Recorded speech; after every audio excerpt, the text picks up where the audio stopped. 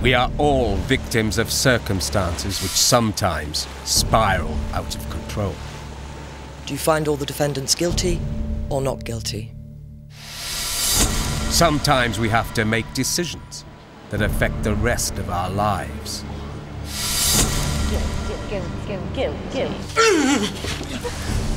Three lads go on the run to Corfu to escape from Maggie, her brothers, and the British police. It's murder now. The lads are innocent, All right, mate. but they have to fight for their lives. What do you do when your family is in danger? Jesus Christ, get some help! I didn't kill your fucking brother! This is not over yet! You bastard! What do you do when your family is held hostage? You breathing! They're breathing!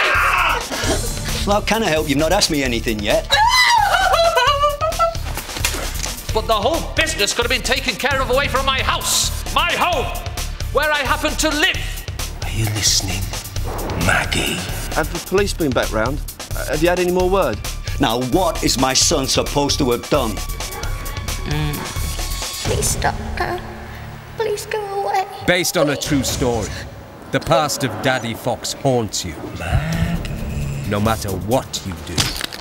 You dirty fucking bastard! Dirty, filthy bastard. Can I have a sip of that water, please? Sure, get off your chest. What do you do when you know that you are innocent? Tony, oh, we're on the same boat. When you are innocent, do you go to prison I want a solicitor now. There's no way I know anything Stick about any of this. or do you go on the run? Yeah, I told the truth. How can a man who goes on the run be an advocate for the truth? We are all victims of circumstances. Do you find all the defendants guilty or not guilty?